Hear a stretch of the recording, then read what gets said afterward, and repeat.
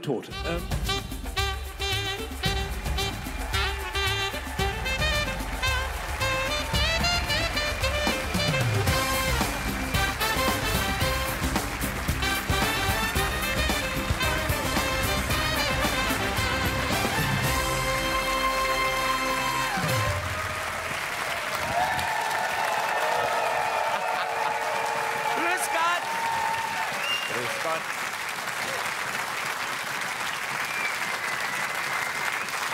Gott, Servus! Herzlich willkommen zu 3, 2, 1 Michel Müller, der ersten und einzigen satirischen Nachrichten-Chartshow im Fernsehen.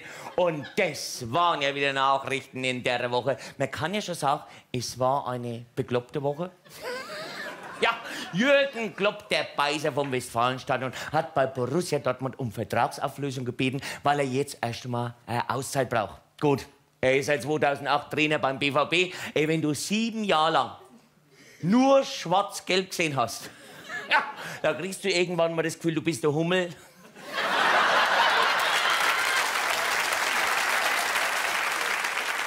und willst davon fliegen. Gell? Aber nicht nur der Jürgen Klopp war das Thema der Woche. Nein, auch unser Papst Franziskus hat offiziell das heilige Jahr ausgerufen. Ein Jahr im Zeichen der Barmherzigkeit. Da sind viele erschrocken und gesagt, Barmherzigkeit, das passt uns jetzt aber gerade mal gar nicht. Ja, die waren dann richtig erleichtert, wie es geheißen hat, das mit der Barmherzigkeit geht erst im Dezember los. Weil das heilige Jahr ist erst 2016. 2016 ist also das heilige Jahr, ob das jetzt mit dieser Fußball-Europameisterschaft nächstes Jahr zusammengeht, ich kann es eigentlich nicht vorstellen. So, aber das ist ja heute quasi eine Chartshow, mein wöchentlicher Countdown und wir zählen die Ereignisse von 10 bis 1. Das ist genau das Richtige gegen die Frühjahrsmüdigkeit, äh, obwohl ich mir sage, wer bei der Uhrzeit immer noch wach ist, der hat kein Problem mit der Frühjahrsmüdigkeit.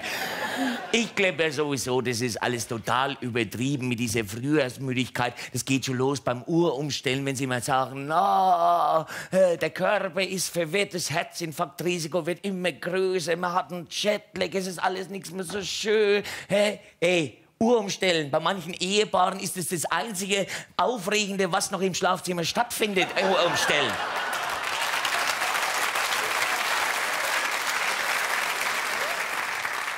Fangen wir aber an mit unserem Countdown und zwar mit Platz Nummer 10, Obama. Platz Nummer 10, Obama und Raúl Castro.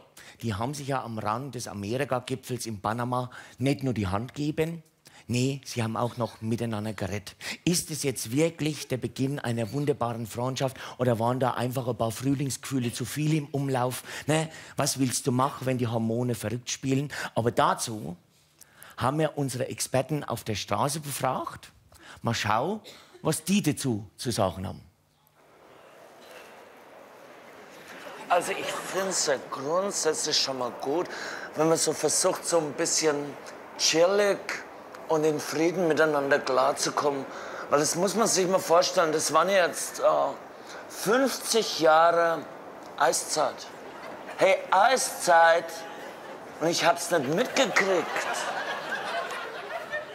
Ja, da muss man sich erst mal fragen, was diese Annäherung überhaupt bringt. Ja, die Zigarren werden irgendwann mal billiger, auch bei uns in Deutschland. Dann fängt mein Untermieter auch noch das Zigarrenrauchen an auf dem Balkon. Mir langt jetzt schon dieser widerliche Gestank und dieser ganze Rauch bei seinen wöchentlichen Grillabend, wenn das immer zu mir raufzieht. Ja, aber da kannst du die Polizei anrufen, wie du willst. Da kommt keiner. Also, wie ich das gehört habe, gell, da habe ich aber sofort meinen Grill auf meinen Balkon angeschmissen, 15 Kumpels eingeladen. Du, wir haben uns gepflegt, ein paar Cuba Libre eingezogen und Havanas geraucht. Ey, nach zwölf Cuba Libre habe ich noch nicht einmal mehr meine nervige Obermieterin gehört. Prost.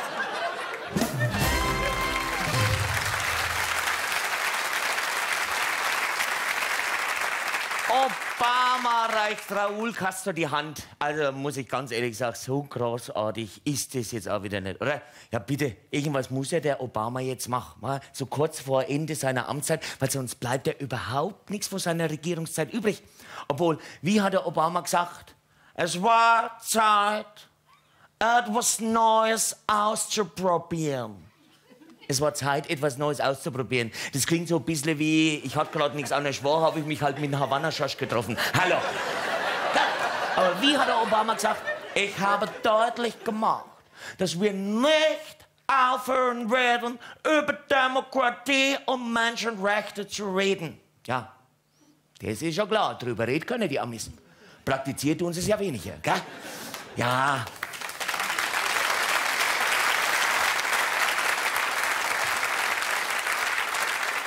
Hallo, mittlerweile werden ja in Amerika mehr Menschen durch die Polizei erschossen als vor Gangster.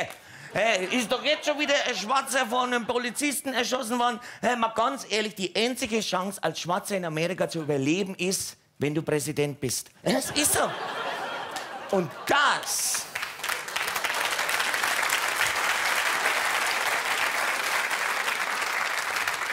Und das hat der Obama geschafft. Er ist der schwarze Präsident von den United States of America. Aber ich sehe jetzt auch bald vorbei, gell? An Obamas Stelle würde ich mir langsam aber sicher schon mal eine schusssichere Weste besorgen. Denn die Präsidentschaftswahlen stehen nächstes Jahr auch an. Und wer hat am vergangenen Wochenende seine Präsidentschaftskandidatur bekannt gegeben? Meine Nummer 9. Hillary Ja. Die Hillary, die Frau von Billy the Willy. Das hat man doch immer im Hinterkopf, oder? Dabei hat sich die Hillary Clinton wirklich über die Jahre entwickelt. Das wäre so eine richtige Mrs. President? Man muss ihr vielleicht noch beibringen, dass er ihr, ihre ganzen vertraulichen E-Mails nicht übers Privatpostfach verschickt. Aber wenn sie mal Präsidentin ist, hat die ja dafür Leute. Ich glaube, sie will sowieso bloß ins Weiße Haus, nicht wegen ihr selber, sondern wegen Bill. Ja, ja weil da kennt er sich aus. Da kennt er alle Zimmer.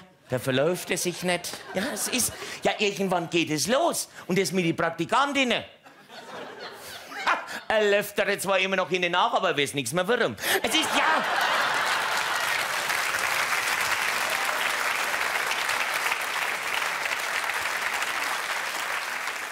Aber hinten nachlaufen, das ist ja auch so was wie Sport, gell? Das ist, und Sport machen wir ja alle, gell? Mittlerweile ist ja Sport so dermaßen wichtig geworden in unserem Leben.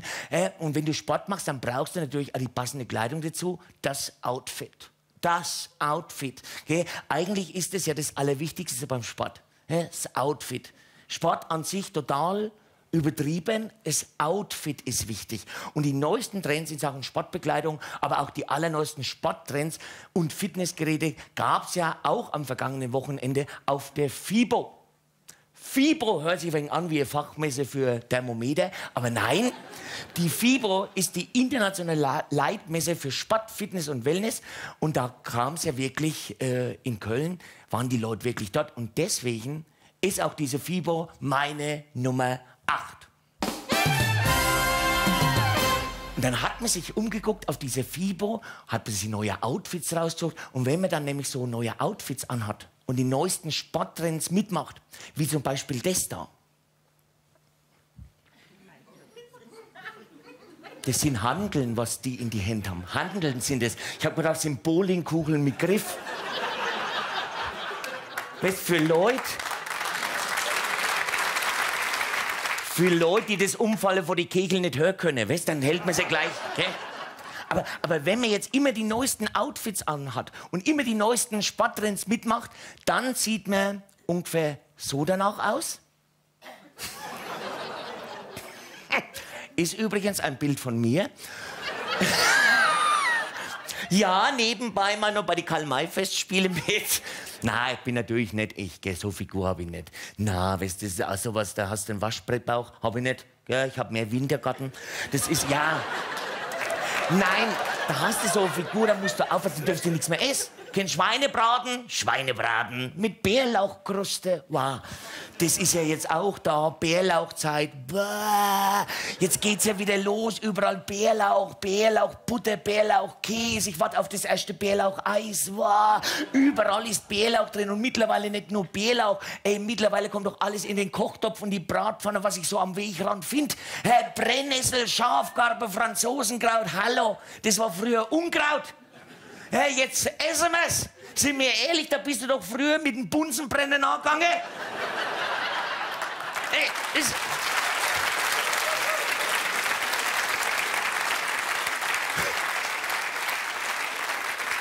Bunsenbrenner, nebenbei noch zwei Mietshäuser abgefackelt, aber wurscht. Hauptsache das Zeug war fort. Habe ich irgendwas nicht mitgekriegt? Hat irgendjemand eine große Hungersnot in Deutschland angekündigt? Oder weswegen fressen wir die Schaf und die Kühe jetzt das Futter fort? Ey, Karnickel verhungern qualvoll in die Stelle treten.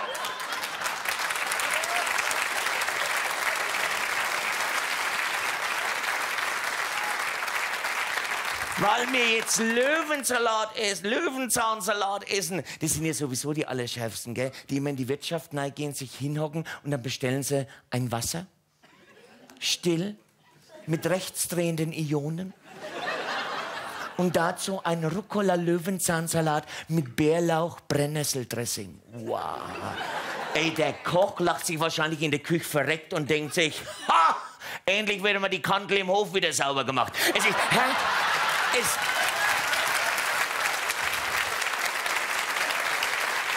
Jetzt habe ich, jetzt ich Kandel gesagt. Kandel, Kandel. Das ist ja quasi ein typisch fränkisches Wort. Kandel.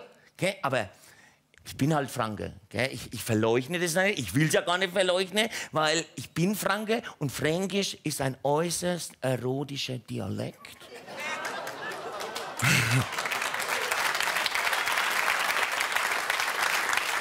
Okay, jeder stellt sich unter Erotik was anderes vor. Ja, die harte Seite der Erotik ist jetzt fränkisch auf alle Fälle nicht. Das ist sowas zwischen Blümchen, Sex und Shades of Grey. Da ist dann fränkisch drin. Und mittlerweile dürft mehr fränkisch gewohnt sein, weil am letzten Wochenende lief ja auch der erste Frankentatort. Meine Nummer sieben. Der Frankentatort. Über 12 Millionen Menschen haben den ersten Fall aus Franken gesehen und der Schreck war schon gleich am Anfang da. Das ist ja falsch geschrieben. Genau, weil es so richtig ist.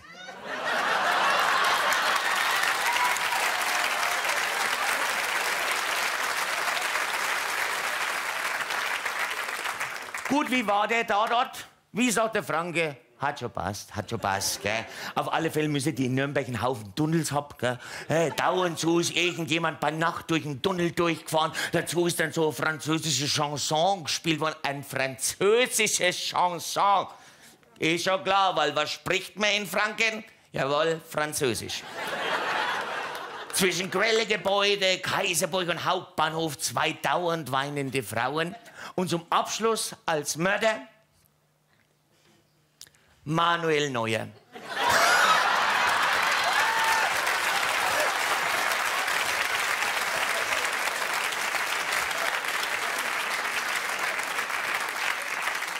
Ja, ich bin im ersten Moment erschrocken.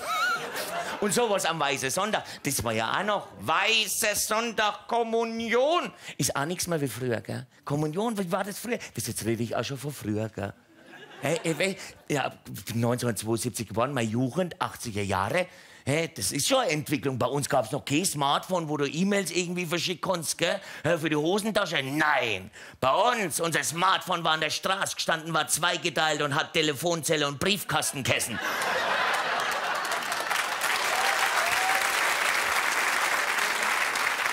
Und meine Kommunion, ja hör mir auf, früh um 6 Uhr war die Blaskapelle vor der Haustür gestanden. Großer Gott, wir loben dich. Ey, da warst du aber senkrecht im Bett drin gestanden. Ey, und die haben ja nicht aufgehört. Wenn du nicht hinausgekommen bist, die haben nicht aufgehört. Die haben 27 Choräle hintereinander gespielt bis zu deinem Heiland, deinem Lehrer, bis du endlich vorne dran gestanden warst. Dann haben die endlich mal eine Runde Schnaps gekriegt. Du hast als Kommunionkind auch gleich einen Schnaps gekriegt, auf nüchternen Magen. Du, da hast du aber zu tun gehabt, dass du in der Kirche die Kommunionkerze einigermaßen gerade halb kannst, gell? Ja, das sind meine Erinnerungen an den Weißen Sonntag. Und es war ja alles letztes Wochenende. Weißer Sonntag, Fiebermesse, Frankentatort und das Ende der Osterferien. Ja, das war auch noch meine Fresse, da waren sie ja wieder alle unterwegs auf der Straße. Ende der Osterferien. Ich weiß nicht, dass man immer fortfahren muss über Ostern, gell? aber alle waren sie ja wieder unterwegs. Und deswegen ist mein Platz Nummer 6 der Osterurlaub. Ja, Wo waren sie wieder alle unterwegs? Unsere großen Politiker, unsere Kanzlerin der Herzen war im Mittelmeer, auf der Insel Ischia. Und wie man sieht, hat sie Spaß gehabt. Gell? Es ist.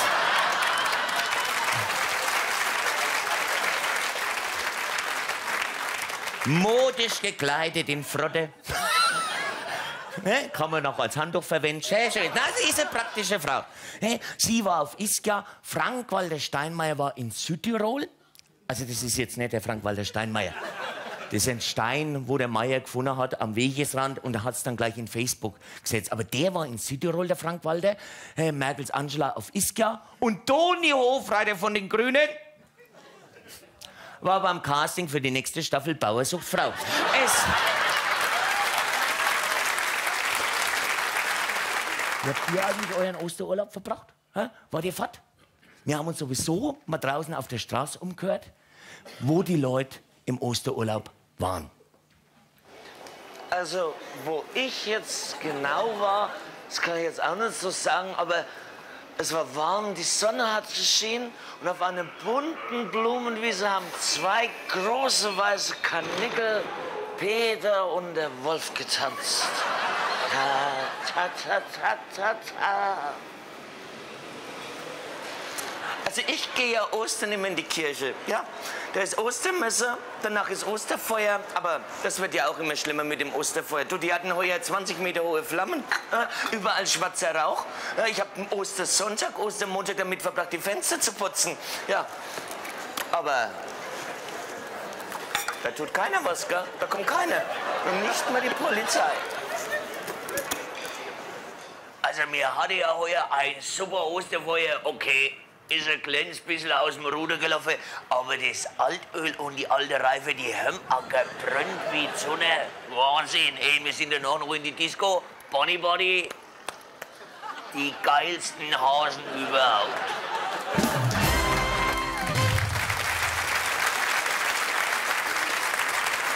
Die geilsten Hasen überhaupt.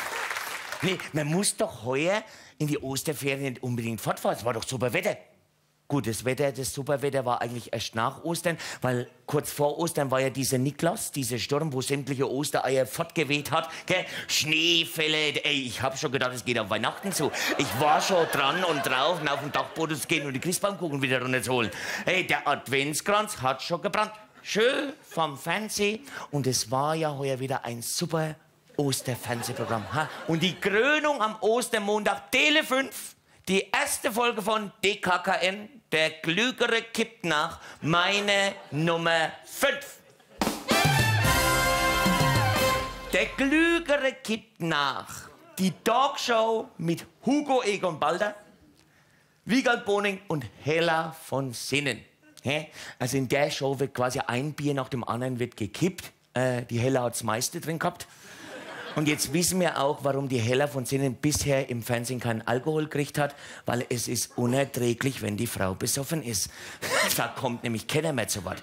Die Klüger, der Klügere gibt nach eine Show unter Alkoholeinfluss. Das verkauft uns Tele 5 als neues Konzept. Hallo, eine Show unter Alkoholeinfluss. Das ist im öffentlich-rechtlichen Fernsehen der Normalfall.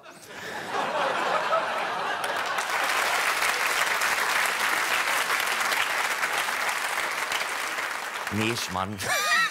Äh, na, Alkohol kriegst du beim öffentlich-rechtlichen Fernsehen, kriegst du ja gar nicht. Nee, das kriegst du höchstens noch als Profifußballer. Ja, die sind ja meistens, sind ja schon so viele Profifußballer auch kalle waren. Äh, Alkohol am Steuer oder geblitzt waren. Wie meine Nummer 4. Meine Nummer 4, die Schlagzeile schlechthin. Toni Groß zieht wegen 148 Euro vor Gericht. Was habt ihr euch zum ersten, wie ihr das gehört habt, das erste Mal gedacht? Hä? Was habt ihr euch gedacht? Vor die Reichen lernst du sparen. Oder? Hä? Stimmt's nicht? Haben wir uns doch gedacht. Wir hätten die 148 Euro bezahlt und fertig wär's gewesen. Der, nein, der feine Herr Weltmeister zieht vor Gericht. Gut, mittlerweile hat er den Einspruch wieder zurückgezogen. Aber was war passiert? Toni Groß ist mit 37 km/h zu schnell geblitzt worden, hat schon diesen Strafbefehl gekriegt mit 148 Euro und dann ist ihm wieder eingefallen, dass der das ja gar nicht war, wo geblitzt worden ist. Nee, er ist von einem Fahrzeug überholt worden und das Fahrzeug hat plötzlich abgebremst und deswegen ist er geblitzt worden.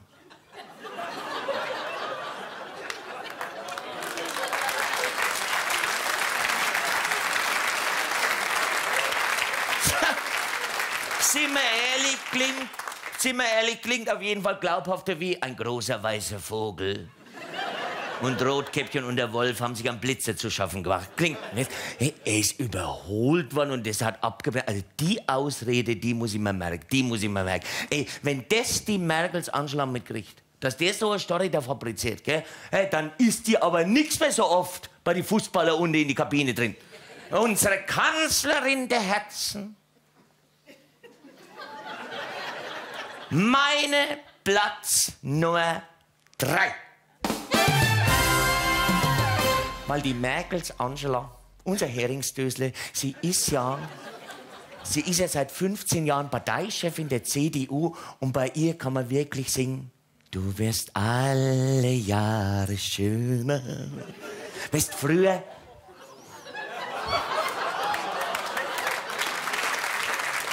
Früher noch Prinz Eisenherz. Jetzt Reichstagskuppel.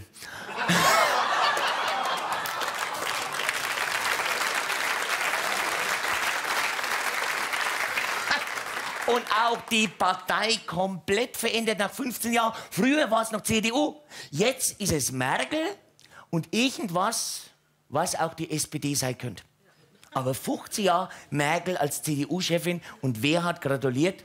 Unser Edmund Stoiber, unser bayerischer Helikopter, der.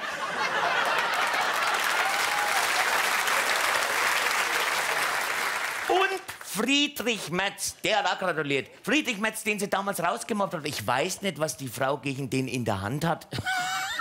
Aber warum gratuliert er sonst? Gut, unsere Kanzlerin, wahrscheinlich hat sie das mit der Gratulation gar nicht mitgekriegt, weil die ist ja immer unterwegs. Immer auf Arbeit, immer da. Da ist ja Kiew, Moskau, Washington. Dann war sie ja Friedensgipfel da in Minsk. Gell? Friedensmission, haben sie mir gesagt. Ja, unsere Friedenstaube aus der Uckermark ist wieder unterwegs. Ja.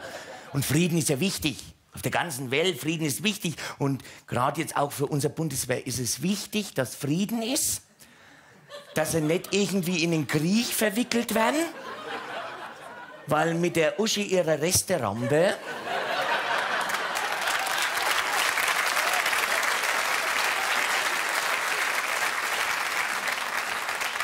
Da kannst du ja keinen Krieg mehr gewinnen, da geht ja gar nichts mehr. Ey, die Bundeswehr kommt ja aus den Schlagzeilen gar nichts mehr raus. Jetzt mit diesem G36-Gewehr. Und was sagt unsere Ursula von der Leyen, die Trümmerfrau der Bundeswehr, auf die Frage, können Sie uns sagen, ob durch das G36-Gewehr schon Soldaten zu Schaden gekommen sind? Da bilden wir eine Kommission. Frei nach dem Motto, was stellt mich das G36? Das ist die Sache von Thomas de Maizière. Jetzt bin ich die schärfste Waffe der Bundeswehr.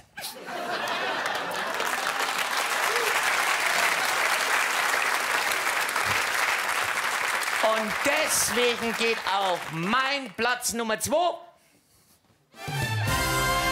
an Ursula von der Leyen, die Rose vom Truppenübungsplatz.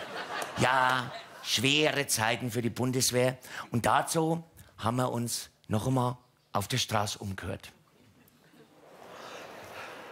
Hey, das muss man sich mal überlegen.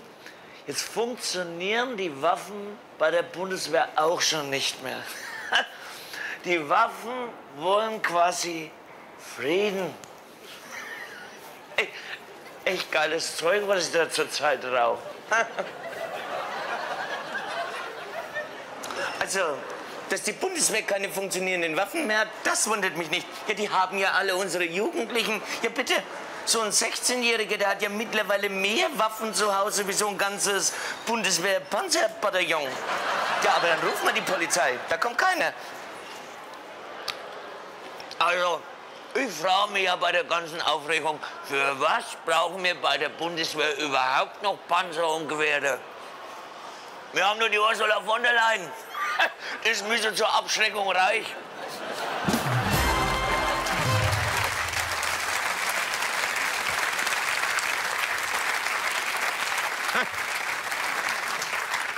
Das Komische an der ganzen Sache mit dem G36 ist ja jetzt bloß, dass es 13 Jahre lang mit dem G36 überhaupt keine Probleme hat. Das ist ja alles erst 2011 losgegangen. Gut, vorher ist ja jetzt auch bei der Bundeswehr nicht so viel geschossen worden. So viel war unsere Truppe dann nicht im Einsatz. Und das mit dieser Schussungenauigkeit und mit dieser ganzen Aussätze, das ist halt dann auch nicht so aufgefallen. Aber wenn ich jetzt mal so überlege, ich war ja auch bei der Bundeswehr. Grundausbildung. Jetzt wird mir endlich klar, warum ich damals die Zielscheibe immer nicht getroffen habe. Das war nicht ich, das waren die Gewehre. Das ist ja. Und jetzt kämpft man ja bei der Bundeswehr auch noch ganz äh, alte, ausgemusterte Leopard 2 Panzer zurück. Quasi direkt von der Schrottpresse gerettet und wieder zurück in die Kaserne. Und wie sagt unsere Ursula von der Leyen, unser Haubitzenröschen? Ja, die sind noch gut, die hübschen wir ein bisschen auf, da wird der Raumausstatter bestellt und dann sind die auch wieder schick. Und die Ursula,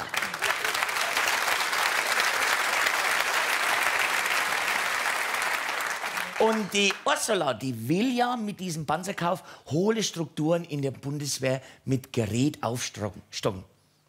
Hohle Strukturen, ich habe erst gedacht, die redet vor die Generäl, aber nein. Die Ursula, die Ursula von der Leyen hat festgestellt, dass es bei der Bundeswehr Panzerbataillons gegeben hat, die überhaupt keinen Panzer gehabt haben. Wie hat man sich das vorzustellen? Sind die in der Kaserne mit den Leiterwagen rumgefahren? Einer war oben drauf gesessen, hat immer Bumm geschrien.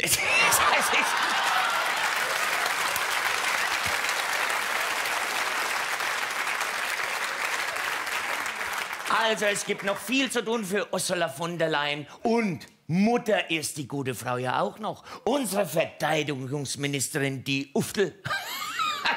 Unsere siebenfache Mutter. Aber die hat ja wenigstens irgendwann mal mit dem Kinderkriechen aufgehört, gell? Andere Mütter sind ja da nicht so, gell?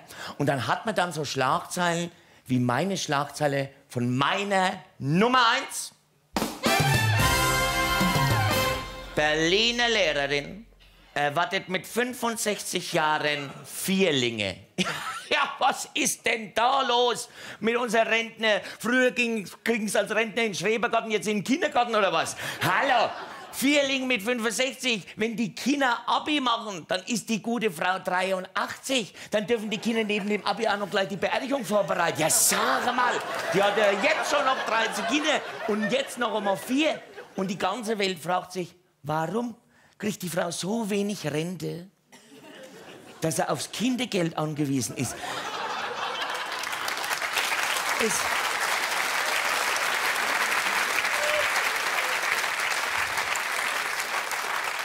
17 Kinder.